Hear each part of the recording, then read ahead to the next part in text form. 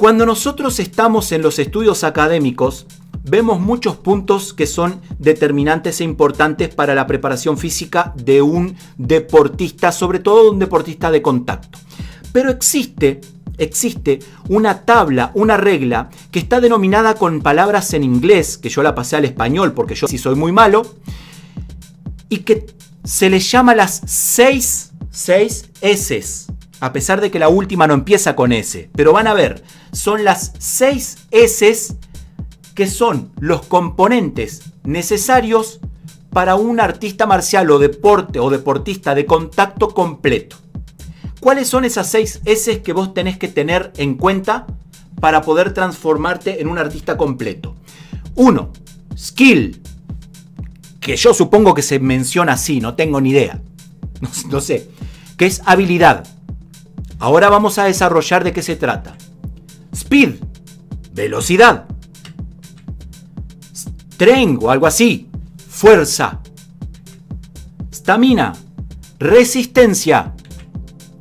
Suplenes o como se, o como se diga. Agilidad. Y este es el que yo digo que, que le hicieron forzado, porque en realidad no empieza con ese, que es psychology. Psicología. Esto es lo que nosotros vemos en los estudios académicos como las 6 S fundamentales para que un deportista de contacto o deporte de cuerpo a cuerpo pueda ser completo. Yo personalmente, basado en mi experiencia que no es poca, le agregué tres más que me parecen fundamentales para los artistas marciales y los peleadores y que no pueden faltar. A saber, flexibilidad. No puede faltar este compendio aunque no empiece con ese. Endurecer o endurecimiento. Y ustedes dirán, ah claro, sí, tenés razón, nudillos y tibias. Sí, sí, pero pará, porque va mucho más allá que simplemente endurecer los nudillos y tibias. Lo vamos a ver ahora. Y por último, nutrición. Que les digo algo, cuando empecé en esto, cuando empecé a vender mis servicios como entrenador y sobre todo como nutricionista para, para los eh, artistas marciales, al principio dije que era lamentable el hecho de la mala información, la desinformación y la mitificación que existe sobre el tema de nutrición y alimentación en los peleadores y los artistas marciales amateur. No en los mixtos, porque esos no dan lugar al, al misticismo, porque te rompen la cabeza en el ring, en el octágono. O sea, ¿sos funcional o no funcionás? Simple y sencillo. Ahora, los que no se miden Claro, eso sí, pueden dar lugar al. No, no, yo como hierbas, como dijo Po en Kung Fu Panda, eh, jugo de rocío y hojas de universo, no me acuerdo, una cosa así. Eh, bueno, claro, si no te enfrentás a alguien de tu mismo peso más pesado, lógico, podés beber jugo de universo y hojas de rocío. Pero si te vas a enfrentar al knockout con un tipo que está dispuesto a ponerte a dormir, o a estrangularte, eh, no hay lugar para la filosofía y para la mística. Tenés que ser funcional, funcional. Entonces, la nutrición es un factor fundamental. ¿Qué componentes necesitas para ser un artista marcial completo? Primer punto, skill, habilidad. ¿De qué se trata habilidad? Eh, Vieron que muchas veces se dice que un artista marcial tiene que ser habilidoso. Entonces uno dice, bueno, pero ¿qué es la habilidad? O sea, ¿a qué se trata con habilidad? ¿Qué es una persona habilidosa? Una persona hábil. ¿Qué es? A ver, Jackie Chan era hábil, sí. Eh, Bruce Lee era hábil, sí. ¿Qué sé yo? ¿Qué es habilidoso? La habilidad es un conjunto de muchos componentes en realidad. Una persona habilidosa no lo logra con una cualidad sola, sino que tiene que fortalecer y desarrollar muchos componentes en su performance física para ser habilidoso. Yo acá te voy a citar tres que son fundamentales y luego vamos a seguir adelante. Pero estas tres son importantes que la practiques, que la practiquen y mucho. Por ejemplo, equilibrio, necesario para desarrollar correctamente las técnicas marciales. Necesitas tener equilibrio. Para eso, para poder desarrollar equilibrio, necesitamos hacer entrenamientos específicos que apuntan al desarrollo del equilibrio. Pero eso te lo tiene que dar en tu dojo, en tu kwon, en tu gimnasio, donde sea. Practicar. Hay técnicas que son muy buenas. Algunas que son eh, extraídas de cursos de psicomotricidad, por fisioterapeutas, por kinesiólogos que trabajan a, equilibrar los hemisferios del cerebro. Y después otras que te digo es la verdad, son extraídas de la antigua China, del antiguo Japón, de Okinawa, de los monjes Shaolin y que son extraordinarias técnicas para desarrollar el equilibrio que parece que fueran hechas por kinesiólogos, porque realmente eran unos expertos antes en esa materia. Pero necesitas dedicar un compendio de trabajo al equilibrio. Investiga, busca de lo contrario, yo en futuros videos probablemente hable de cómo y muestre técnicas de cómo desarrollar el equilibrio. En mi curso, obviamente, que hay técnicas de equilibrio, porque ese aspecto lo contemplé en el curso que está a la venta, pero necesitas desarrollar el equilibrio. Coordinación. La coordinación debe centrarse en el aprendizaje de izquierda y derecha y el correcto movimiento del cuerpo en todos los aspectos psicomotrices. Mira, viste, por ejemplo, esto pasa mucho, yo lo veo en judo y en jiu-jitsu. Y no lo he visto tanto en las artes marciales de contacto. No digo que en todas, pero no lo he visto tanto. Pero en judo y en jiu-jitsu tienen una forma de trabajar que es espectacular, que cuando en mi caso hice, me encantó. Trabajamos todas las técnicas.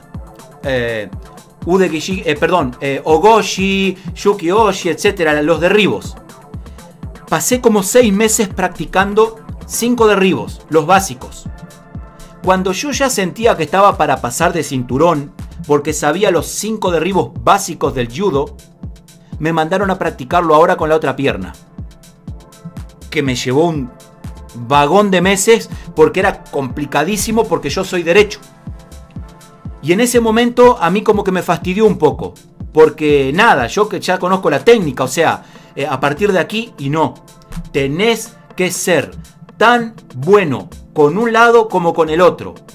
Lamentablemente, en las artes marciales de contacto de golpeo, striking que le llaman, muchas veces si vos sos de una guardia, hacen que vos únicamente utilices la guardia con la que sos, con esta jab y con esta golpe, cuando en realidad deberías de ser ambidiestro. No solo porque a la hora de pelear te podés enfrentar a alguien que te complique la guardia, sino porque al ser ambidiestro te mejora la habilidad general. Pasas a ser una persona habilidosa. Una persona que solo maneja una guardia no es una persona habilidosa. ¿Ok? Por lo tanto, si querés entrar dentro del calificativo de ser una persona habilidosa, tenés que ser tan bueno con la derecha como con la izquierda, para atrás como para adelante porque es una cuestión de hemisferios cerebrales. ¿Me explico? Ya no es una cuestión de tecnicismo, es una cuestión de hemisferios cerebrales. Vamos a seguir. Control necesario para el buen control, control, tenés que tener control, necesario para el buen uso de las técnicas marciales. Debe desarrollarse gradualmente a través de ejercicios de ACC, que por su sigla es autoconciencia corporal, conciencia de tu cuerpo. Necesitas trabajar con ejercicios que te ayuden a desarrollar la autoconciencia corporal. Saber y ser consciente de cada músculo, cada tendón y cada parte de tu cuerpo en un momento determinado. En eso son muy buenos los de Tai Chi, por ejemplo. El Tai Chi, el Aikido, en esas técnicas de enraizamiento, el Qigong. Por eso yo siempre digo que no existe un arte marcial mejor que la otra. Lo mejor es complementarlas a todas o lo mejor de cada una. Y no quiero parafrasear a Bruce Lee, porque los que no quieran a Bruce Lee van a decir ya empezó con Bruce Lee, pero órale, si era un precursor. Si era un precursor. Realmente cada arte marcial tiene algo que es muy bueno, muy bueno en sí mismo. Y sería óptimo poder em, utilizarlo. Entonces, si bien para ser un peleador habilidoso necesitas muchísimas, muchísimas más características, estas tres no te pueden faltar. Equilibrio, coordinación izquierda-derecha de hemisferios y control, autocontrol corporal. Autocontrol del cuerpo, autoconciencia corporal. RPG. Vamos, speed, velocidad. A ver, si ustedes recuerdan, abajo en la descripción de este directo yo les voy a dejar todos los links de todos los videos que ya les hice con cada tema profundo. Así que si vos querés profundizar en velocidad o en lo que sea, baja la descripción cuando terminemos y vas a ver un video específico. Entra a ese y especifica en ese. Yo te voy a tocar todo por arriba hoy acá. Velocidad. Yo hice un video que te voy a dejar abajo, un directo, en donde te hablé sobre la potencia. Porque muchas veces se confunde velocidad con potencia. Y nosotros, generalmente en una pelea, lo que necesitamos es potencia, ser potente. Potente, reacción rápida, potencia. Sin embargo, también existe lo que es la velocidad. Acá no te voy a hablar de potencia porque tengo una hora y diez de video hablando de potencia y te lo voy a dejar abajo. Pero velocidad, ¿qué es velocidad? Veamos, según la RAE, o sea la Real Academia Española, dentro de todas las descripciones que da dice ligereza o prontitud de movimiento. O sea, es una persona que es capaz de tener ligereza de movimientos. Velocidad de movimiento, velocidad de reacción. Y acá tenemos dos tipos de velocidades distintas a desarrollar. Velocidad de movimiento es una. Está relacionado a la traslación. Traslación. Velocidad de movimiento. ¿Vieron esa eh, fantasía que muestra cuando Jeep Man eh, va Donnie Shem hace taca, taca, taca, taca, taca, taca, Eso es velocidad de movimiento. Mientras que velocidad de reacción es reacción rápida. Veamos. Velocidad de movimiento. Influye la aceleración, o sea, el realizar un movimiento determinado en el menor tiempo posible y la rapidez que se requiere la frecuencia con que se es capaz de realizar determinados movimientos. Si no pueden seguir la lectura, no se preocupen, acuérdense que esto queda colgado para siempre y abierto en el canal de YouTube, así que mañana lo miran de vuelta y lo ponen en pausa y lo repasan, tranquilo. Veamos, ¿cómo incrementar la velocidad de movimiento? ¿Cómo hago, no? Bueno, te voy a dar una forma, una técnica que es de las más utilizadas por cualquier entrenador, por cualquier entrenador calificado. Ejecutar un mismo movimiento la mayor cantidad de veces posible en un periodo de tiempo limitado, realizar los movimientos pero con peso. Abajo te dejé un video en donde hablé sobre cómo adquirir potencia de patadas y ahí en la patada, velocidad en las patadas y ahí te muestro algunos ejercicios que son los que realizan generalmente en Muay Thai o en kickboxing ¿ah?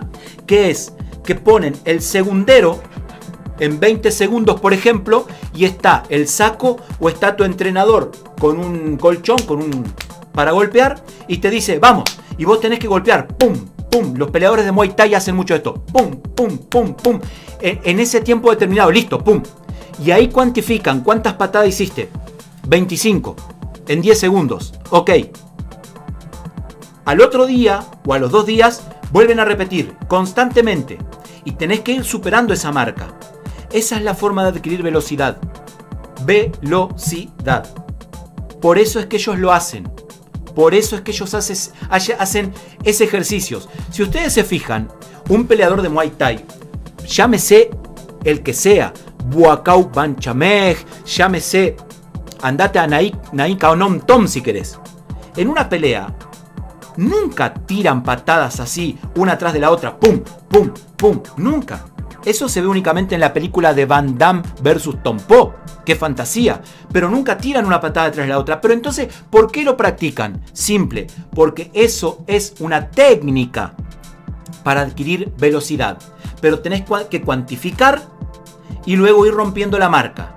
Ahora, claro, mi estimado amigo, entre prueba y prueba tenés que hacer ejercicios de potencia, de reacción, de fuerza máxima. O sea, no es que hago un día, me acuesto a dormir, al otro día lo hago y voy a ser más veloz por, por, obra y gracia del Espíritu Santo. No, hay todo un entrenamiento entre medio que te va a ir aumentando las marcas y después vas probando. Pero solo eso en sí mismo ya actúa como un entrenamiento para aumentar velocidad. Vamos, pasamos. 3. Eh, fuerza.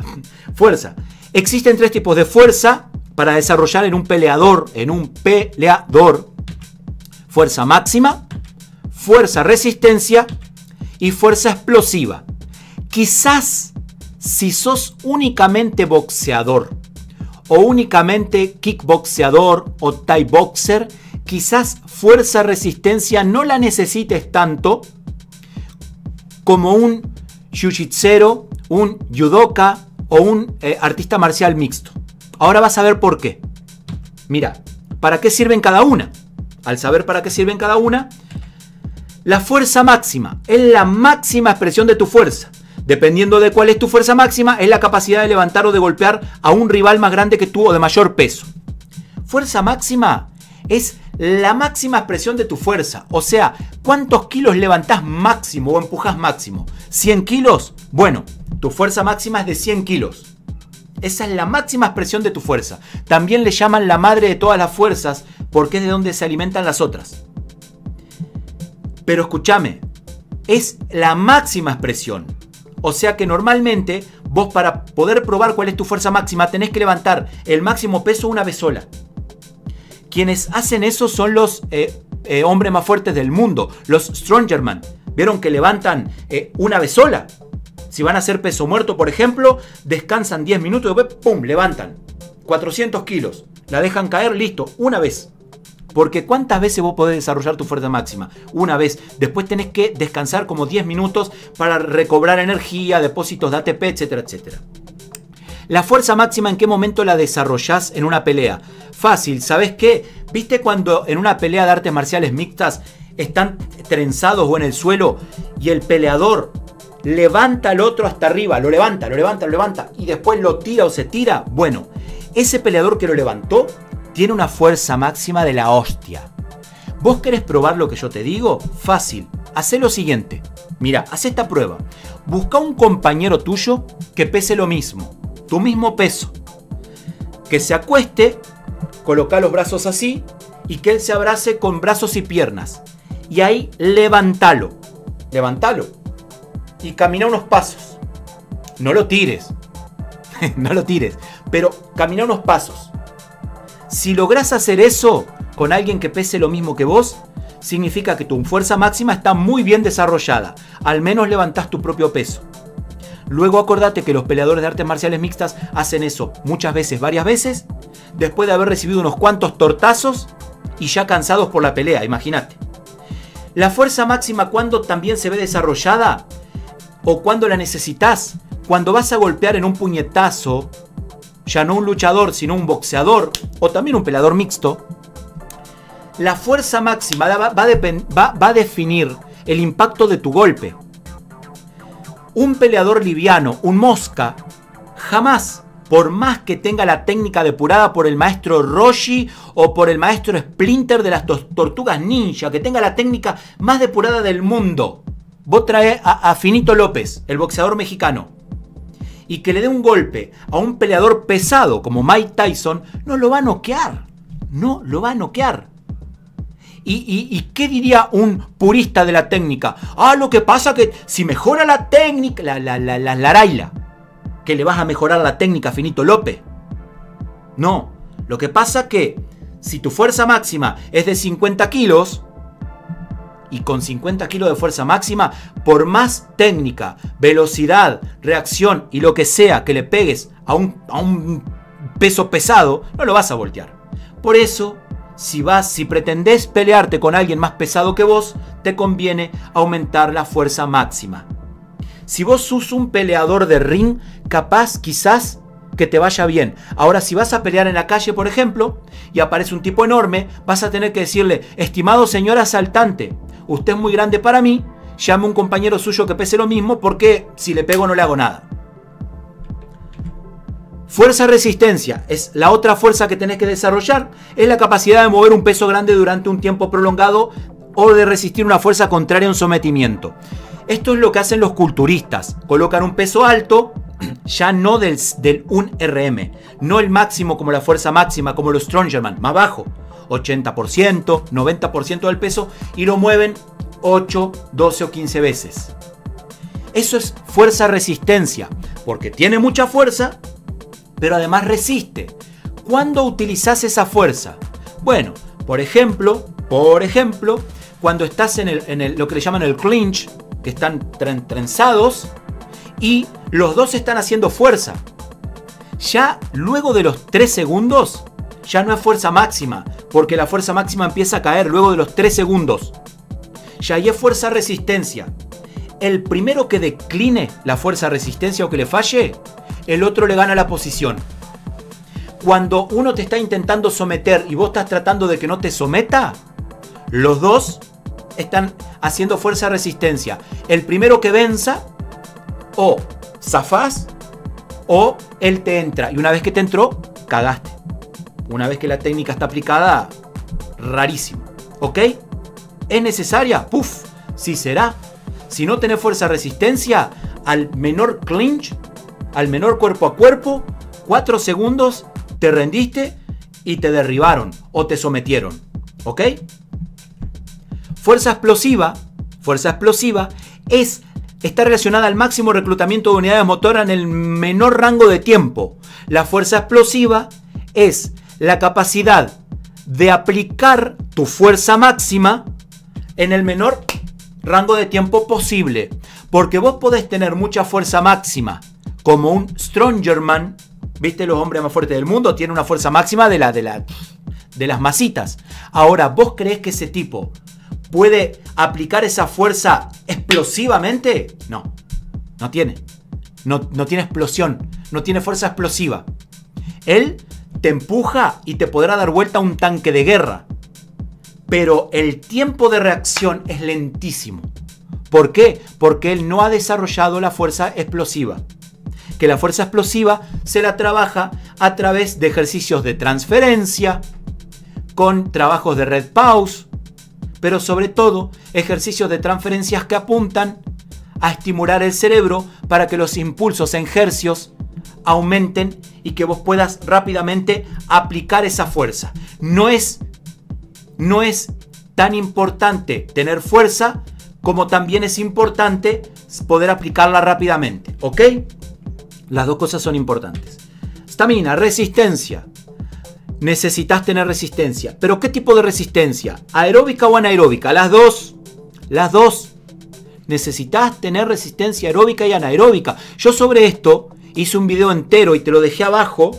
Que si te acordás, en ese video está esta imagen. Que yo acá planteo en ese video, que si después lo mirás, eh, explicaba que ahí hay dos tipos de resistencia distinta. Uno tiene resistencia aeróbica, que es el, el peladito, el flaco, y el otro tiene resistencia anaeróbica. Uno es un corredor de fondo y el otro es un sprinter.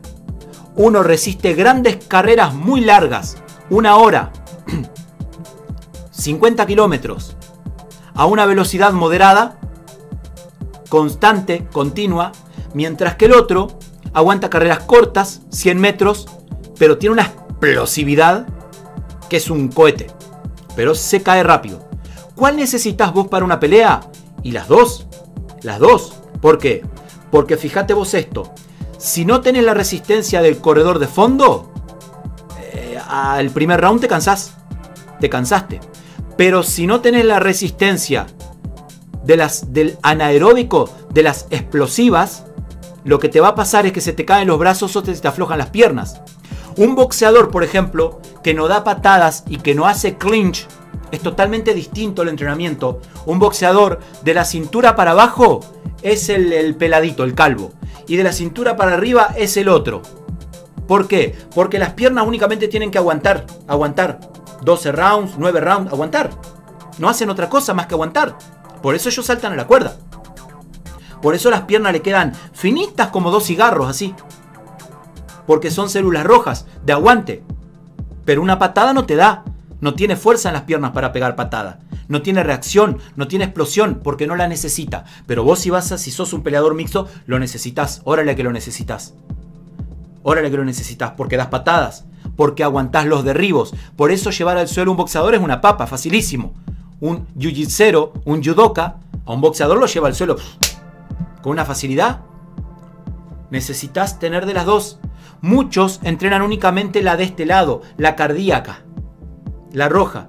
Y después dan dos o tres golpes, se trenzan un poquitito y se cansan. Y dicen, pero qué raro. Parece que se me sale el corazón por la boca y yo corro 10 kilómetros. Claro, pero es que tu resistencia es aeróbica. Y lo que se te cansó fue el anaeróbico. Pero abajo tengo un video completo hablando de esto. Bueno, cómo entrenamos uno y otro, que en ese video está, pero también te lo voy a decir acá. En uno, entrenamientos de fondo. En el otro, entrenamientos de potencia, como eh, los sprints, como lo, en entrenamientos burpees, etcétera, etcétera. Subplenes, o como se diga, agilidad, agilidad. otra de las palabras que a mí siempre me hizo ruido en la cabeza. Dice, un, artista marcial tiene que ser ágil. ¿Qué es ágil? ¿Qué es ágil? Porque una vez recuerdo que vi en, un, en, un, en el manual de un auto que decía agilidad tanto. El auto es ágil, pero si el auto no hace nada, va. Agilidad, ¿qué es la agilidad? Eh, Jackie Chan es ágil. Viste que Jackie Chan tiene todos los componentes, ¿no? Jackie Chan, ¿qué es agilidad? Vamos. La habilidad de cambiar la posición del cuerpo de manera eficaz. De vuelta, eh, el diccionario, la Real Academia Española, dice que es la habilidad de cambiar la posición del cuerpo de una posición a otra de una manera eficaz. Ahora entiendo. Claro, sí. Un peleador tiene que ser ágil, pero ahí te das cuenta de que ágil no es solamente como Jackie Chan arriba, que cambia, tic, tic, que cambia, que, se agacha, sino que también ágil es un jiu-jitsu o un peleador mixto que en el suelo tiene la habilidad de cambiar, de girar. A veces vos ves en las peleas que quedan todos torcidos, giran. O sea, eso es agilidad. ¿Cómo desarrollás la agilidad? Uf, qué complicado. Esto es muy complicado. Pero te voy a decir lo siguiente, mira, de acuerdo a mi experiencia. Primero, la agilidad la vas a desarrollar haciendo todo lo anterior. Porque en sí, la agilidad es un, eh, ¿cómo decirlo? Es un conjunto de cualidades físicas que todas juntas y en sinergia dan una persona ágil. Una persona veloz, una persona eh, habilidosa, etcétera, etcétera. Ahora, en cuanto a ejercicios, en lo que es personal, y de la gente que he mandado a entrenar y de los ejercicios que puse en el curso que están destinados a la agilidad, están los ejercicios pliométricos. Pliometría. Yo no sé si ustedes han escuchado, a ver si lo puse acá. Ah, sí, puse. Bueno, em, yo no sé si ustedes han escuchado que Cus D'Amato, el entrenador de Mike Tyson, hacía mucho énfasis en los ejercicios de pliometría. Ejercicios de pliometría hay un montón. Y si bien no están enfocados directamente a la agilidad, porque por ahí puede haber algún ortodoxo que me diga, ¡eh! Pero los ejercicios de pliometría no son para agilidad. Yo no dije que fueran. Yo dije que basado en mi experiencia, y es mi problema, he descubierto que haciendo determinados ejercicios de pliometría adquirís agilidad son muy buenos para agilidad. Burpees, cambios eh, de, saltos, ejercicios, que algunos son incluso balísticos, te dan muy buen desarrollo de la agilidad. Por eso te sugiero, si compraste mi curso, hay ejercicios de pliometría, de saltos, de cambios. Está relacionada a la extensión y a la fuerza que se genera cuando estirás un músculo de retorno. Pero bueno, eh, hay básicos. Si no, Próximamente voy a sacar algún video más y si no, eh, buscar en internet ejercicios de pliometría y es un muy buen componente para poder desarrollar la agilidad. En mi curso están los básicos y están justamente con este objetivo. Psychology, psicología, órale. Psicología es importante, pero si lo será, también abajo de Link hay un video completo de una hora hablando de la psicología, pero ¿qué? De los nervios y de los miedos. En ese día hablé porque creo que hay que tener en cuenta y en claro la diferencia que hay entre los nervios y el miedo. Mucha gente te dice, quiero superar los nervios. Y yo le digo, los nervios son el efecto de una causa. La causa es el miedo. Por eso nosotros no tenemos que atacar el efecto, tenemos que atacar la causa. Pero sí, definitivamente, tenemos que atacar los miedos para superar los nervios. Para ello, eh, ¿qué hay? Bueno, y creencias limitantes. Creencias limitantes. Las creencias limitantes son importantísimas superarlas. Las creencias limitantes son un factor eh, fundamental. Creencias limitantes en contra y creencias limitantes a favor tuyo. ¿Qué quiero decir con esto? Bueno, hay gente que tiene creencias limitantes en contra. O sea, piensa que no está capacitado para tal o cual cosa. O que esto o que aquello no es para él. ¿Qué sabes? ¿Qué sabes? Probá. No, porque probé y me fue mal. Pero capaz que probaste de manera incorrecta. Capaz que tu instructor, tu profesor tu maestro, quien te transmitió, no te lo transmitió de la manera incorrecta. Capaz que el que era malo era tu profesor o tu instructor. Probá con otro. Probá con otro. No te sesgues, no te cierres tu vida por una persona. A lo mejor vos no eras mal alumno, a lo mejor él era mal profesor o mal maestro. ¿Ah? Ahora, si probás una, otra y otra vez y capaz que no, y bueno, quizás, quizás tu creencia limitante es al revés, es que vos crees que tenés que poder todo. Y la realidad, amigos y amigos y amigas, es que no todos nacimos para todo. Algunos nacieron con cualidades para correr, otros no, yo no. Otros nacieron con la cualidad para nadar, otros no. Algunos nacieron con la cualidad para el canto, yo no. Otros nacieron con la cualidad para hablar en público, otros no. Otros nacieron con habilidad para bailar, otros no. Algunos nacieron con habilidad para el boxeo, otros para el judo, otros para el jiu-jitsu, otros para el kung fu, otros para las artes, qué sé yo.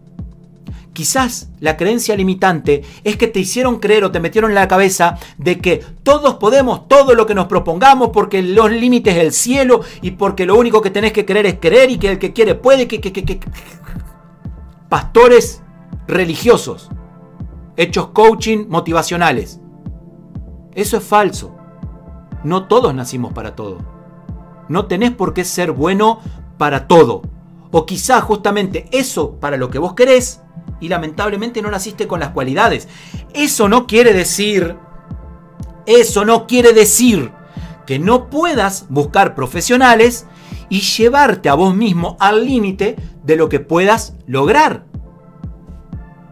Pero no te frustres porque por más que vas con profesionales, no llegas a ser un fisicoculturista, porque quizás no naciste con la producción de células satélites suficiente para ser un fisicoculturista. O no te frustres si vas, si por más que vayas a la profesora de canto y cantes 10 años de clase, después salgas a cantar y no le gusta a nadie. Porque quizás no naciste con el don del canto. ¿Me explico? Entonces, hoy por hoy nos han bombardeado para vendernos cursos motivacionales de que vos podés todo. Tenés que creerlo y ya está. No, no. O sea, eso es filosofía barata. La realidad es que la biología, la fisiología, la anatomía, la ciencia nos dice de que hay gente que es más habilidosa para una cosa y hay otros que son más habilidosos para otro. Entonces, para poder superar tus límites, tenés que eliminar miedos y nervios, pero también creencias limitantes. La meditación, el yoga, el tai chi, qué sé yo, el chikun son muy buenas, muy buenas terapias. Yo en el curso puse mi curso de meditación para que aprendan a meditar porque también escucho mucha gente que me... ¿Por, qué agregué el curso de meditación al curso? Va, va junto con todo el pack, va, mi, mi, curso de 5 clases de meditación. Simple, porque me canso de escuchar gente que dice, yo medito. ¿Y cómo meditas? No, me siento, miro, reflexiono. Eso no es meditar. Eso no es meditar. Llamale reflexionar si querés. Bueno, pero a mí me hace bien. Eso es otra cosa. Y te lo respeto. Te lo respeto. Porque al final hay que respetar el derecho de vida irrestricto del prójimo. Pero mm, el pan es el pan y el vino es el vino. Esto es un silvapen, un marcador, y esto es un control remoto. Entonces, por eso fue que lo agregué. Porque si querés que te dé los resultados de la meditación, tenés que meditar. Simple. Por eso fue que lo agregué. A ver. Bueno, acá ya entramos en el compendio de, de los otros tres que agregué yo. Flexibilidad. Flexibilidad, eh, fundamental, fundamental. Sin flexibilidad, ahora, amigos y amigas, flexibilidad de músculo, de tendones, de ligamentos, de tejidos blandos, de piel, de piel y hasta flexibilidad ósea. Porque el hueso no solamente tiene que ser duro, también tiene que ser flexible. El hueso es un, tejido vivo, no es un tejido muerto. Claro, la flexibilidad ósea está más relacionada a la nutrición. A la nutrición. Por eso, eh, cuando yo hable en estos tres días, los SARMs, por ejemplo, esto de lo que voy a hablar en el día número 3, tienen la capacidad de unirse a los receptores androgénicos del hueso para poder generar anabolismo y que el hueso se, torne fuerte y flexible, porque está hecho para evitar la osteoporosis y demás, pero eso lo vamos a ver eh, en el día número 3 después. Flexibilidad. Ahora vean la palabra que puse, flexibilidad contráctil, contráctil. ¿Por qué contráctil? ¿Por qué contráctil? Por lo siguiente. Algo flexible es un material que tiene la capacidad de elongarse. Algo contráctil es algo que tiene la capacidad de volver al lugar en las mismas condiciones en las que salió. Y eso es totalmente distinto. La viejita de yoga, el viejito de yoga, que pone la pierna acá y hace ahí, todo eso, es muy flexible. Por lo cual, sería bueno que nosotros sigamos los consejos de ellos para adquirir su flexibilidad. Pero ojo, yo te sugiero de que si vas a seguir los consejos del viejito de yoga, recuerdes que vos no sos un viejito de yoga.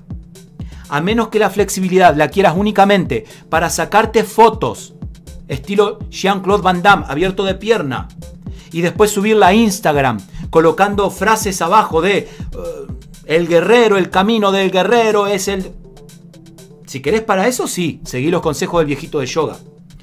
Pero, si vos te vas a subir a un ring, te vas a colocar unos guantes y te vas a dar de hostias con otro tipo y vas a intentar noquearlo de una patada, te sugiero que sigas los consejos de gente que lo ha hecho. Big Superfull Wallace, Mirko Filipovic Krokop, Andy Hook, el samurái de los ojos azules, entre otros tantos. Tipos que son tan flexibles como contráctiles. Y a veces incluso son más contráctiles que flexibles. ¿Ok? Necesitas flexibilidad y contractilidad. Abajo también hay un video hablando de eso. Pero, ¿qué entrenamientos eh, tenemos para la flexibilidad? Veamos. Elongación estática, que es la básica, la base. Necesitas tener. En el curso yo metí 6 videos con todo tipo de flexibilidad. Porque es. Mirá si, si lo considero importante. 6 videos le metí en el curso de flexibilidad. Estática es esa en la que llevas el cuerpo a una posición, bajás o vas a donde tengas que ir y ahí quedas unos cuantos segundos que el material queda.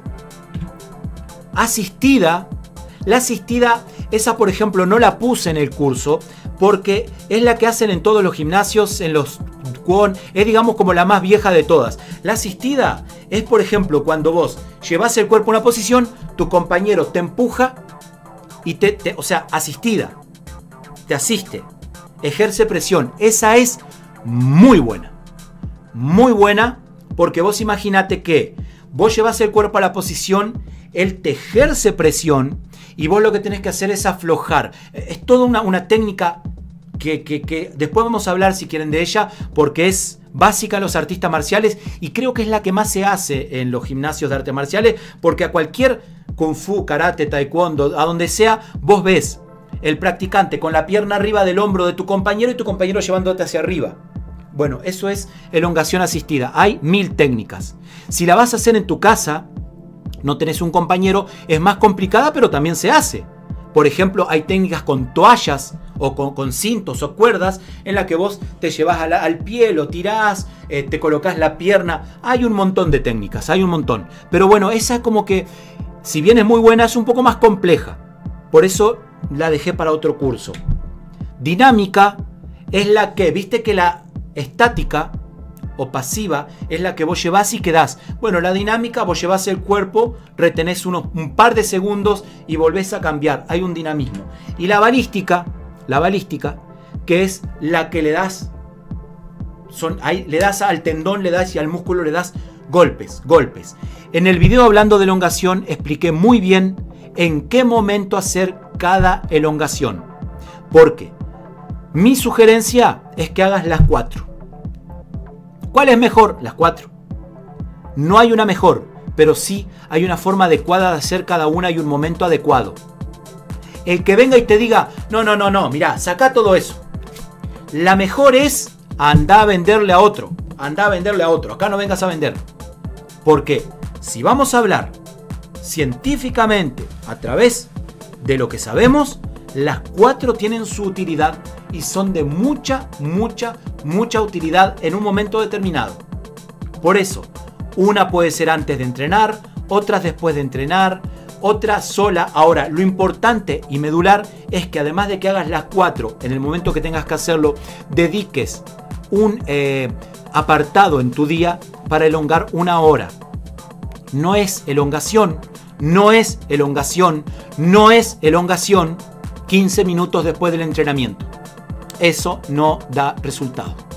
Los resultados vienen cuando entrenás una hora por lo menos, día por medio.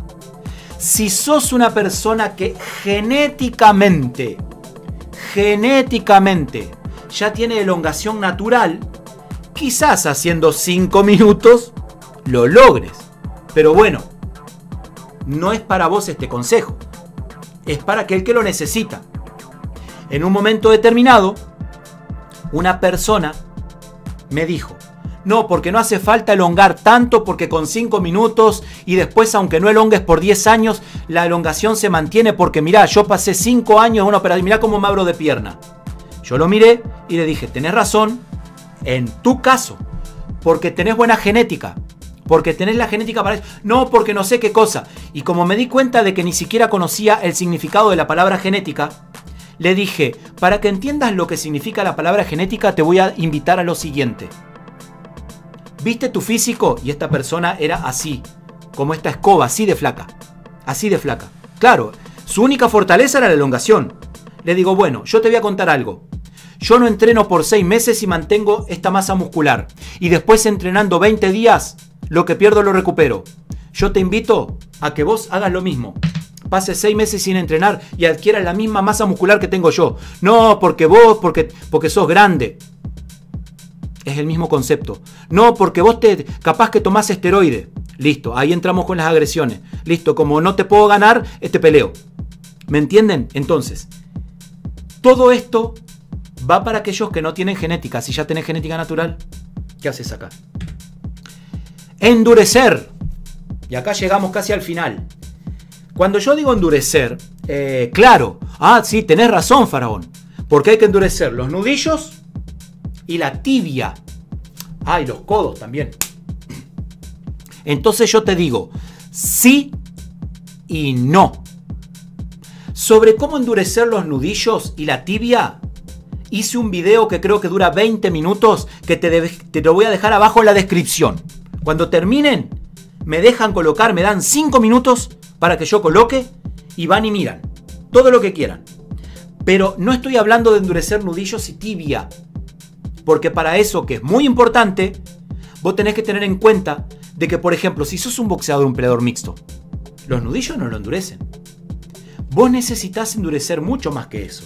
Yo te pregunto, ¿vos vas a tener una bala firme o necesitas que toda la pistola sea buena? Toda la pistola aceitada.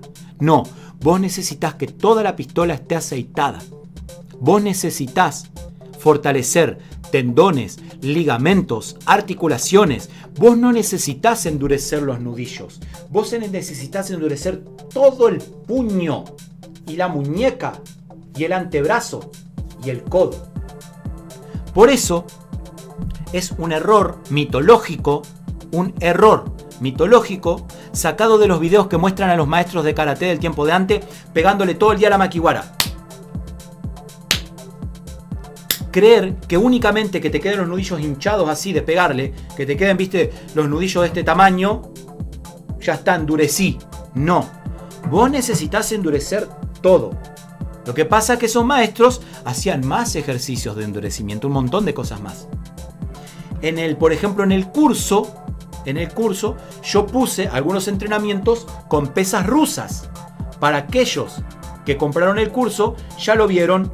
Aquellos que no compraron el curso, les muestro, si me permiten, vean acá. Ahí. bueno, ahora me están escuchando a mí porque esto es parte del curso. Pero Como te lo son entrenamientos con este pesas rusas. En donde más se Voy a sacar el volumen habitualmente de van a lo pesado, a lo fuente a lo, multimedia a lo acá. Saqué el volumen de la fuente multimedia, listo.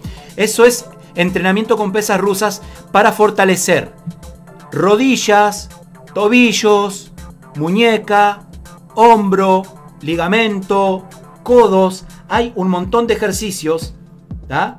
Y bueno, el ejercicio 8, hay un montón de ejercicios que van destinados y apuntando a fortalecer toda el arma, no solo los nudillos. Por eso tienen que tener en cuenta, tienen que tener muy en cuenta que el fortalecimiento, el fortalecimiento de... mm, Por, ahora sí, por eso es que tienen que tener en cuenta que el fortalecimiento es de toda el arma. Y ahí, en fortalecimiento, si van a ver el video luego que termine este que dejé abajo, está muy relacionado también lo que es la alimentación. La alimentación es crucial en esto. Porque no se trata solo de romper o de dañar, sino que se trata de recuperar. Vamos a ver entonces el último punto, creo que está, o me parece que este era el último punto. Ah, sí. Bueno, este era el último punto que quería tratar. Recuerden que estos temas están profundizados abajo. Bien, ah, hasta acá llegó. Voy a bajar para ver si hay alguna pregunta. Los voy a mirar a ustedes, a ver qué me dicen. Si tienen alguna pregunta y si no hay ninguna pregunta, eh, voy a, cerrar. ¿Cómo puedo generar una fuerza de golpeo como la de Masutazo Llama que botaba los cuernos del toro? Ha endurecido mucho tiempo, pero ni siquiera puedo romper bloques.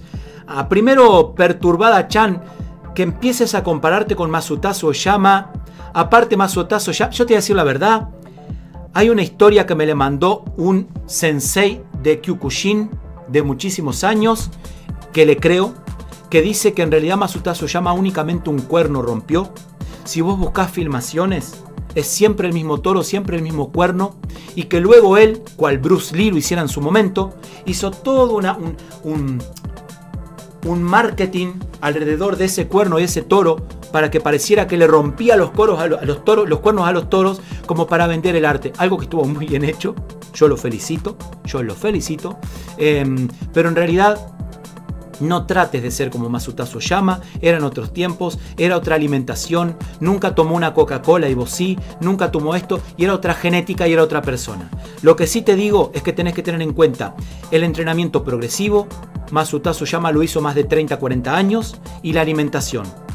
Te sugiero, te sugiero que veas el video que dejé abajo colgado, que voy a dejar en 10 minutos, 5 minutos dame, que voy a dejar abajo en la descripción sobre la alimentación y sobre los entrenamientos que tenés que hacer para endurecer.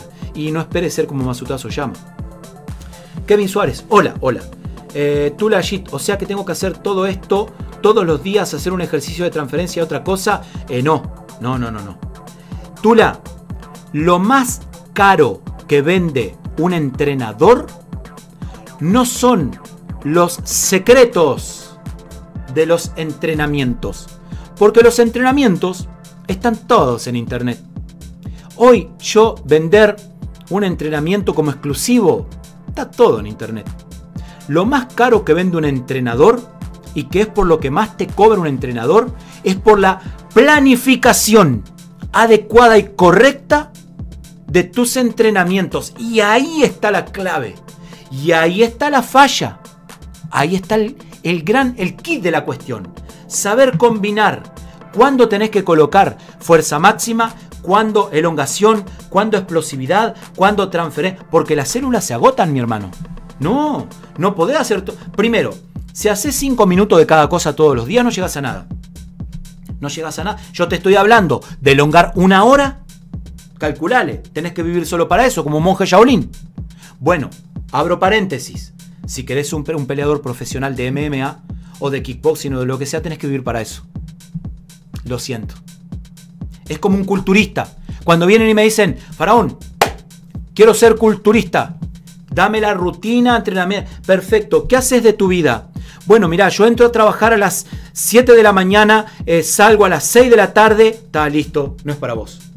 Eh, y no, no, no creces. No, el culturista se levanta y se acuesta, vive y respira culturismo. El peleador de MMA nace y se acuesta, vive y respira MMA. Vive para eso. Entonces, es ahí la gran limitante de mucha gente que quiere compararse sin tener la misma característica, capacidad, cualidad y tiempo y dedicación y dinero. ¿Bien? Por eso no, no es todos los días todo.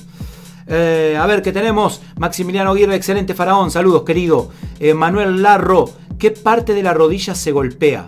Ah, bueno, eso es algo chat, algo técnico. Eso es algo. Ahí tenés que preguntarle al, maestro que te enseña a golpear. O sea, que se golpea para qué me preguntas. ¿Para endurecer o para, para golpear? ¿no? Eh, eso es algo, una, una técnica.